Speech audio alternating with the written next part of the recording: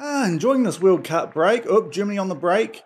Oh, another goal. Wow, 13 0. Geez, Big Carl might be getting unfit with this effort. Oh, who's that ringing?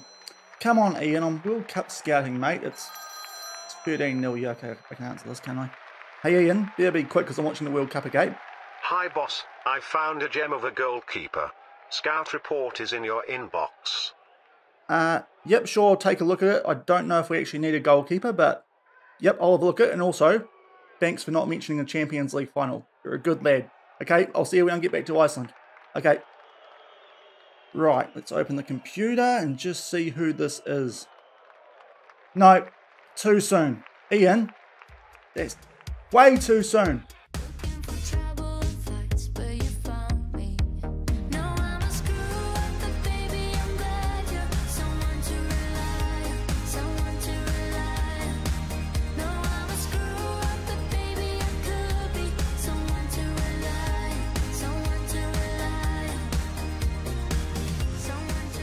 Hello everyone and welcome to episode number 156 of Husavik Heroes here on Shaun Does FM. I hope you are doing well and coming up in today's episode we do have a few things to cover off off the back of what happened in yesterday's episode. As you can see on screen we've got some European rankings off the back of that, a little bit of a transfer update, some of the bits that we have done as I said off the back of the end of yesterday's episode. We've also got a game in the Icelandic Cup against Fylkir, which could actually be a little bit tricky because we do still have a few players on World Cup duty as well as Basaroge. He's still at the club, but he is injured for a little while. So that could actually be an interesting little game there in the Icelandic Cup fourth round. So if you are looking forward to today's episode, then do remember to go down below, leave a thumbs up on the video. And if you haven't done so already and are enjoying this series here on the channel, also remember to hit that subscribe button and turn that notification bell on as well. It is greatly appreciated. But here are the European rankings off the back of the Champions League final in yesterday's episode. Cheeky scout report there, not too long off the back of where we did end things in yesterday's episode. Definitely not going to re sign Joe Corcoran after what happened yesterday, even though he did play quite well. But man, did we bottle that penalty shootout. If you missed that Champions League final, I'll leave a link to it in the top right corner. But here are the ranking updates off the back of this European season, which has just finished. There you can see in terms of the league rankings, we have moved up just one place there from 15th to 14th for the Islands deal. And also in terms of the club rankings, we stay in seventh despite making our second Champions League final in a row. So that means we are still right up there, sandwiched in between PSG and Juventus and behind quite a few English teams and Real Madrid. Hopefully, at the end of this upcoming season, just looking there at the coefficient for 35 and 36, maybe we can sneak up those rankings a little bit more and maybe get our way into pot one sooner rather than later for Champions League draws. But those are what the rankings do look like off the back of this past European season. And we'll just go forward a little bit now and update you guys on some transfer business that we have done off the back of that Champions League final loss. And it's probably easier if we do run through this off the transfer history page. As you can see, so far no ins off the back of Carl Vollen during the knockout stages of the Champions League, but six outs on the right hand side does mean we've raised a little bit more money to invest into our squad, which we are hopefully going to do sooner rather than later. But so far we have let go of six players. Two of those players right up the top there we're going to leave us on a free transfer come the end of this Icelandic season. That's both Declan Spencer and Stamatas Tsitsikas. We have just sold them before the start of the next one, just so we do get a little bit of money off those guys and get them out of our squad so that we can hopefully use that near £1 million to invest back into our squad. But Declan Spencer, pretty average goalkeeper, two star current ability and potential when he was at the club. We signed him on a free transfer a season or two ago. He has gone to Rangers for £750,000 and Stamatas Tsitsikas who was at the club for quite a while but never really developed as much as we were hoping. In the backup team, he has gone to Ali in his home nation of Greece, and that is for £135,000. So that's a transfer we actually make quite a bit of a loss on, but we do have quite a few young promising wingbacks coming through at the club these days, but some more notable departures there down near the bottom. The first of those is Lee Van Tam. He was one of our starting wingbacks, the one who we could get the most interest in out of him and Kenny Boreal, and he has gone to Leicester City for £10 million. That does free up a spot so that we can start it right back next season. Radenko Krolo, once he comes back from his loan at Lille. In fact, he has just come back from that today, but is still a little bit tired, so he won't be playing in this upcoming Icelandic Cup game. But he is back at the club and is going to replace Levan Tam as our starting right back for this upcoming European season. But we do make a little bit of a profit on that transfer of the Vietnamese come Czech Republic right back. Did a pretty good job for us over a few seasons here at the club, paying 5.5 million for him back in 2031. We nearly double the value there in selling him off to Leicester City. And as I said, we can try and bring through a new generation of hopefully players who won't bottle Champions League finals quite so much. So Lee Van Tam leaves us, as I said, after a few good seasons here at Volsungur in the first team. The next player that we did sell was Gaetano de Prisco. We have a few young centre backs here at the club now who should be able to replace someone like Gaetano. We have sold him for 9.5 million pounds to Mainz potentially. Could have got a little bit more for some of these players that we have already sold, but we did need a little bit of money, I felt like, to just bring in a few more youngsters to bolster the stocks here at Volsungur in some positions. So Gaetano de Prisco leaves us for 9.5 million pounds going to the Bundesliga.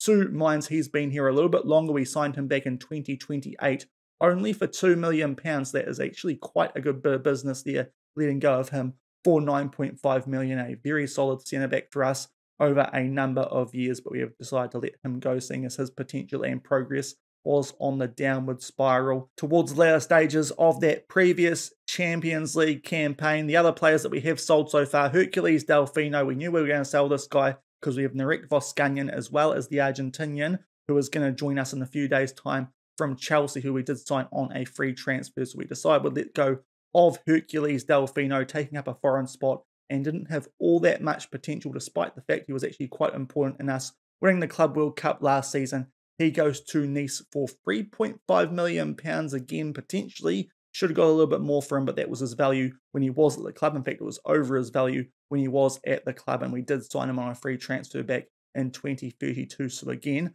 making some money off of that transfer, as I said, probably most famous for his efforts around this time last season in helping us lift that Club World Cup over Man United in the final. If only that was yesterday instead of last year. We'd much rather be Champions League winners than Club World Cup at the moment. And the other player we sold is another one of our backup goalkeepers. That was Jimmy Cools. We signed him on a free transfer around this time last season, and he has gone to Heracles for £65,000. Only spent one season at the club after being released by Man United. And I think that transfer could potentially rise if we go back to around about that £90,000 mark as well. So just making a little bit of profit there on Jimmy Cools as well. And that does mean we have a decent little transfer budget now that we can look to invest into the squad for those departures. We've got 19 million at the moment. The one thing about that I would keep in mind, I think about 7 million will be coming out of that for the Filippo Giannelli installment that is due this season after we did sign him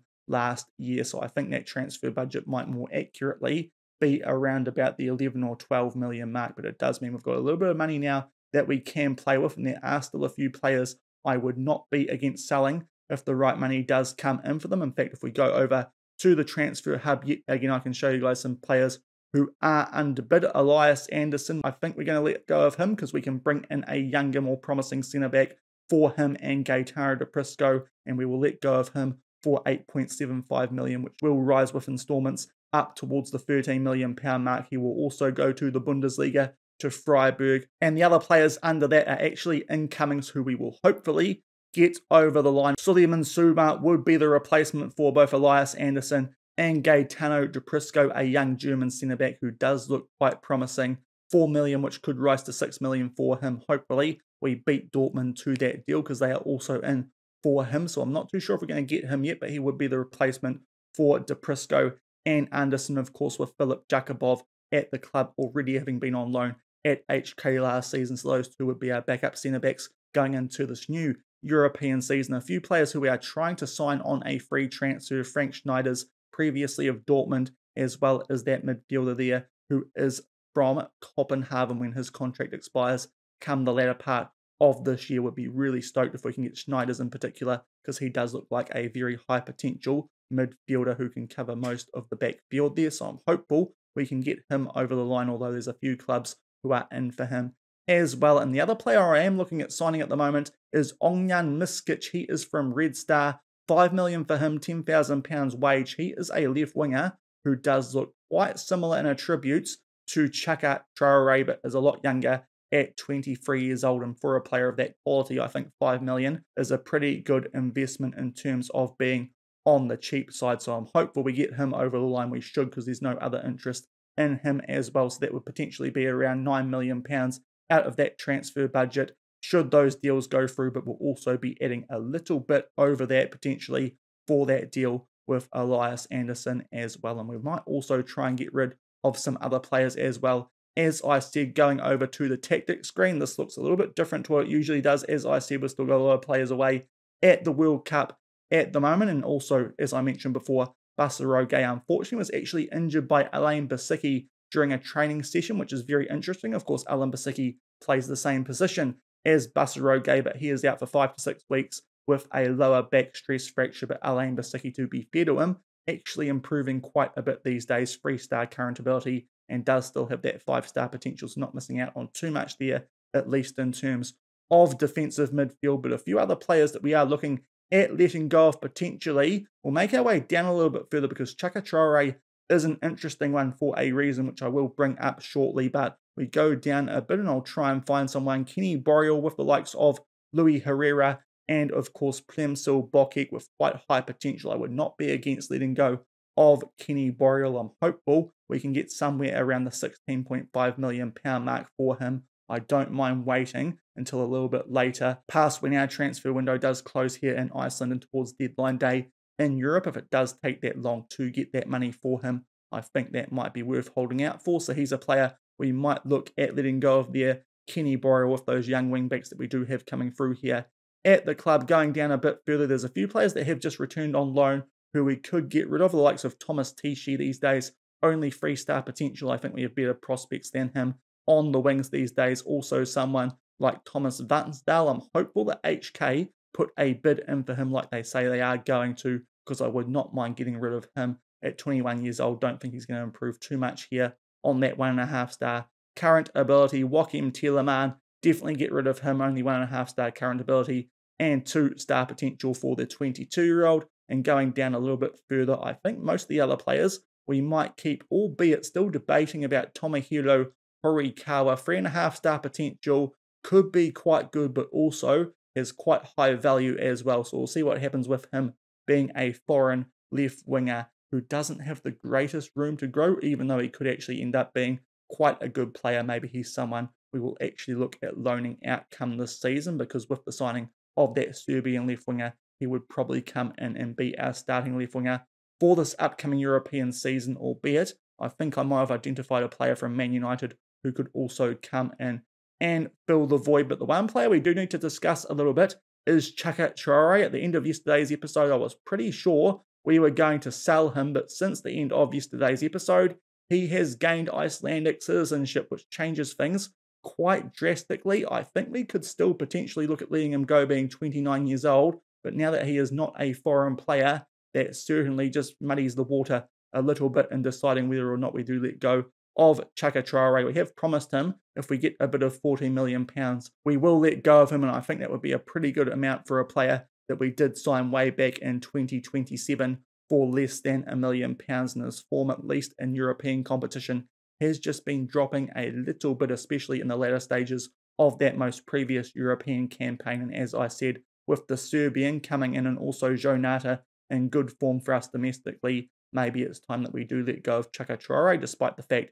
he has just gained that EU citizenship with that Icelandic nationality. Also worth noting is that we could actually keep a foreign left winger in this team. That is because when we get to the point where our full team is available, we do still have Adam Saki, Basaroge, and Ali Ramadan in our starting 11. Those are the three players who we definitely are going to have in our first rotation domestically. But we do also have Louis Herrera, as I said, who's probably going to work his way into the first rotation as a left back, and that already puts us up to four foreigners in the first team. So what we might do is pair him up with a left winger in the backup team just so they can build that partnership and that will hopefully keep us in line with things in terms of the domestic requirements for foreign players. The player I am looking at who could come in as an improvement to both Traore Jonata and that new Serbian who we are signing, as well as, of course, Tomohiro Horikawa is. This man from the team who did beat us in yesterday's Champions League final, this is Robson Fernando, 21-year-old Brazilian valued somewhere between 30 million and 43 million pounds,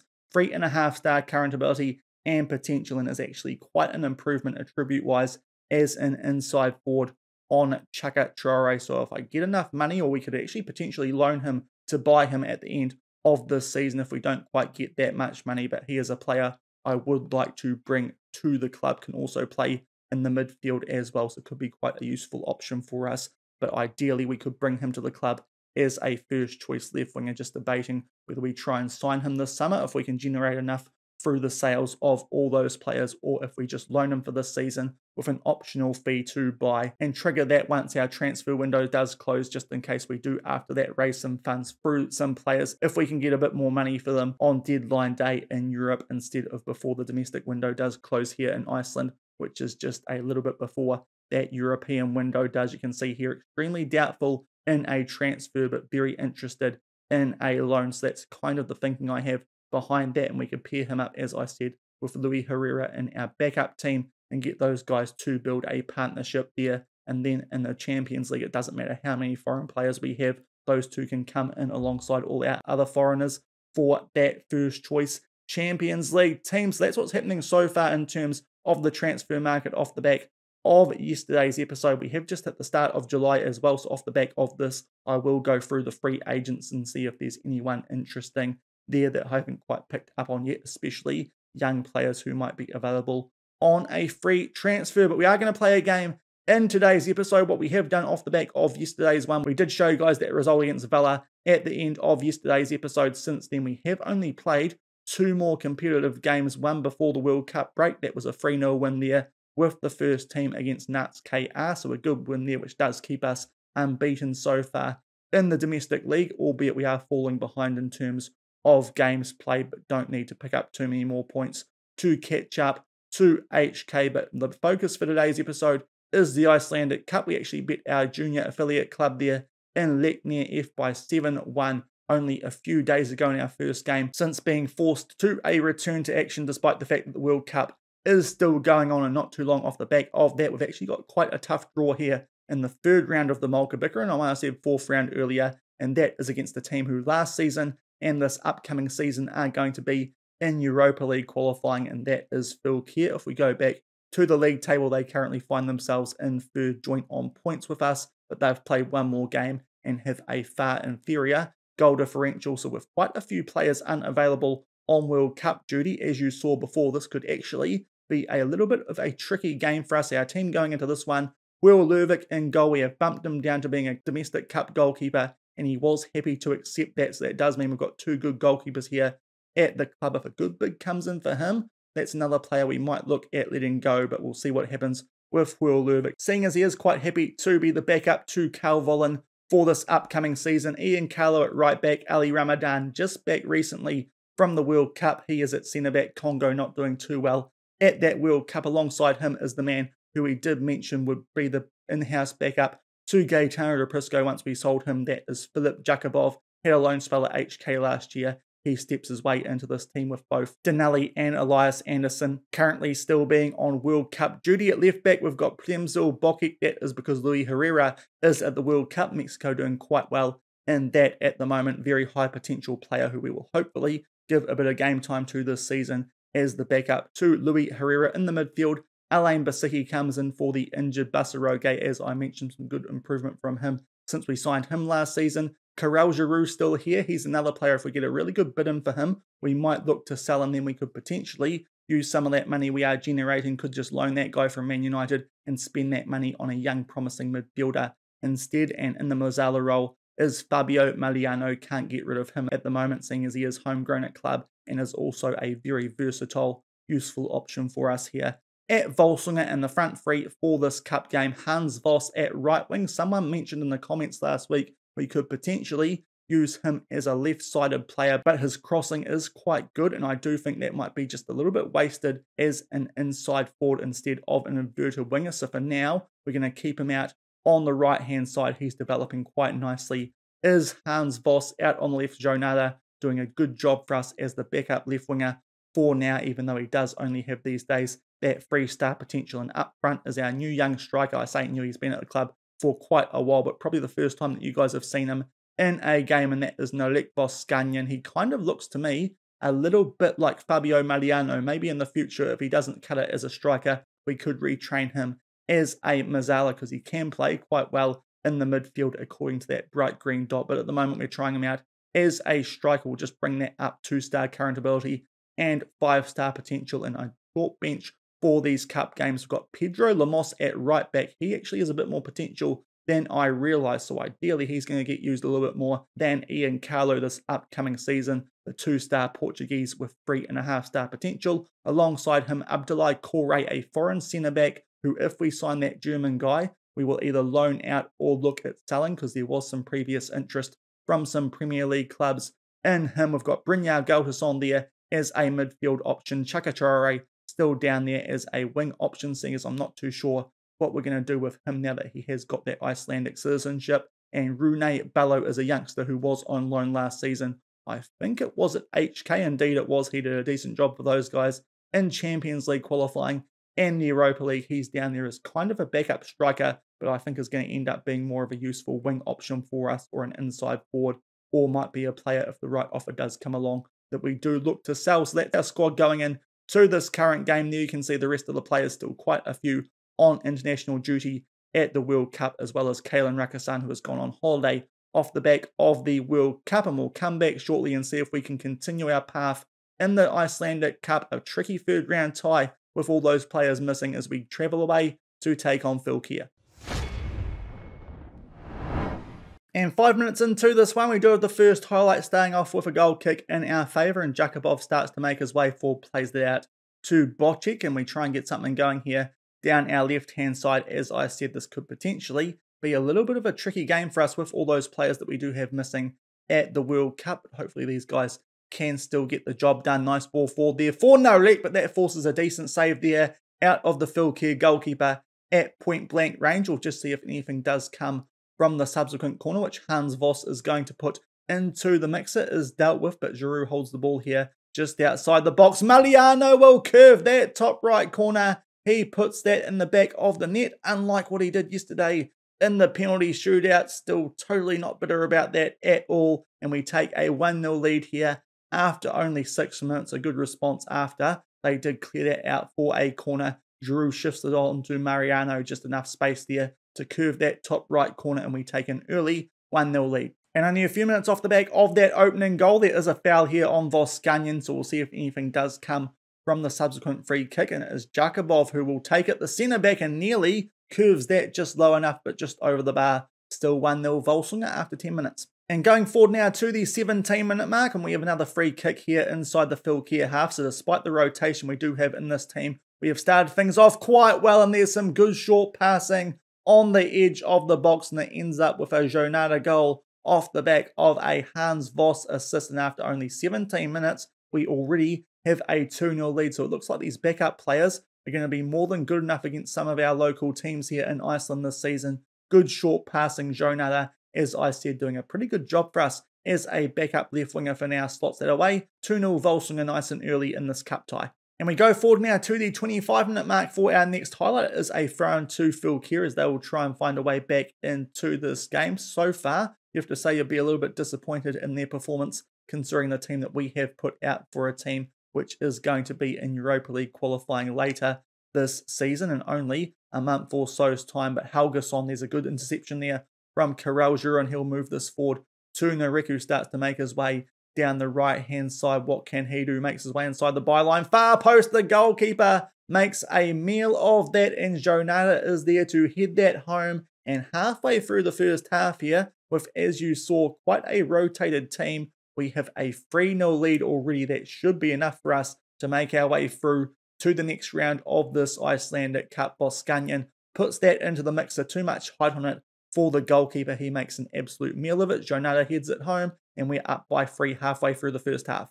And that is half time in this cup tie here in the third round of the Molka And despite that rotated team that we did put out, we are playing very well here and take a 3 0 lead into half time as far as I can see at the moment. No need for any changes just yet, so we'll leave things as they are for the early stages of the second half 3 0 up here at half time in the third round of this Icelandic Cup tie. And just past the hour mark, we do our first highlight here of the second half, and it is a near post corner, but unfortunately comes off the upright. I think that was Ali Ramadan who tried to beat the goalkeeper there at his near post. Unfortunately, that time the Woodwork denies us, but not too long off the back of that, we do have a throw and Ramadan is there again, plays that forward to Ian Carlo. Nice ball over there, looking for Jonata, but it is intercepted by a Fylkir player, but we are still on the attack here, albeit play that back to our centre backs, but are camped inside the opposition half here. And Fabio Mariano plays that up to Narek. Some good short passing here again on the edge of the box, and they do get to clear that there.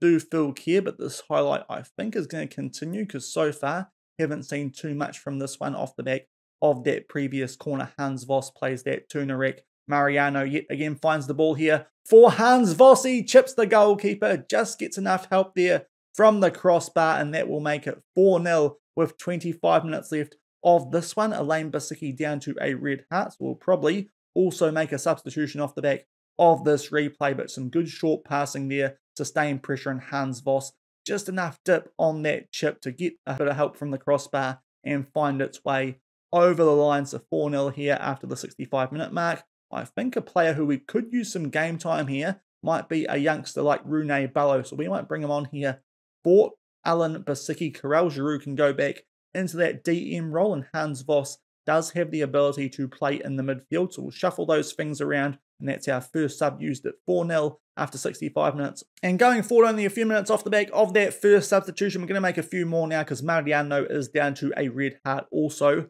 Only 20 minutes left, so we'll bring on Galtason for Mariano, and we'll just shift that midfield around a little bit more to make that a little bit more familiar. And also, I think we should bring on Abdoulaye Corre, give him a little bit of game time. Pedro Lemos still a little bit tired after playing that previous cup game against Leiknir. That is why Carlo starts in this one, but I think we will bring on Corre here for Ramadan just for these last 20 minutes, seeing as we do have a four goal lead. And we've just made our way inside the last 10 minutes of this one. We still have a 4 0 lead, albeit that's a little bit scrappy at the back there, and it is Fylkir who are on the attack and they'll try and get a consolation goal at this stage. It's fair to say they might be a little bit disappointed with this performance, albeit that is a poor cross. They'll still be disappointed as Will Lervik does claim that. And maybe we're going to get another chance here in this one. But so far, a good performance, as I said, from a very heavily rotated team away from home. Probably the only first choice player who did start in this game was, of course, Ali Ramadan. So that does bode well for this upcoming season, but Jonata makes his way down the left-hand side. Hans Voss back flick. We're still on the attack here. Hans Voss will drill that a little bit of curve and it finds its way inside that far post. He picks up a double and that will make it 5-0 late in this one. Hans Voss doing a really good job there as our backup right winger in this game and as well as in the last domestic season. Just fires that around the defender. The goalkeeper can't get there and it's 5-0 late here in this third round cup tie. And we are about to just enter injury time in this one. A very good performance, as I've said a few times, especially with the amount of rotation we did have to do leading into this game against a team like Fylkir and away from home. That is a very comprehensive and clinical win there. 5 0 away from home, especially when you consider we only had 1.55 XG, so very good in front of goal there. And that is a great win from a lot of players who wouldn't usually be in our first team, getting the job done over a team who are going to be in Europa League qualifying in the not too distant future. So we do make our way through to the fourth round of the Icelandic Cup, despite that one looking like it might be a potential banana skin game. We win it there 5 0 over Fylkir. And back in the inbox off the back of that game in today's episode, as I said, a potential banana skin, but we got over it quite nicely, picking up a very comprehensive 5 0 win. Hans Voss in the end picked up the player of the game, and that will do it for today's episode, as I said, a bit of a rankings update and a transfer update as well, while we steadily make our way towards the Champions League playoff to kick off the next season. But if you did enjoy today's episode, then do remember to go down below, leave a thumbs up on the video. And if you haven't done so already and are enjoying this series here on the channel, also remember to hit that subscribe button and turn that notification bell on as well. In terms of when we'll come back, honestly, not too sure exactly what fixture it will be for. It depends how much I get done between now and when I come back for tomorrow's episode. We'll see exactly when it is. I think the game that stands out the most is that one against HK. But if I can get further, we'll just come back a little bit later and steadily make our way towards re-entering European football for the next season. And also by then, hopefully, we will have done a little bit more transfer business and can update you guys on what our squad does look like. We will do our squad recap as we usually do going into that first game of the new Champions League season. And also, if you want to play along with this one, I did leave a link in the comments of yesterday's episode with the save file off the back of that Champions League final. I'll do the exact same thing in the comments of today's video once I do wake up, seeing as these videos do come out usually while I am sleeping here in New Zealand. But as I said, we'll come back at some stage in July, not exactly sure when, and hopefully by then have a bit more transfer news for you guys before we do kick off the new European season. So until then, Thank you very much for watching. Keep on keeping on, and I'll see you then. Cheers.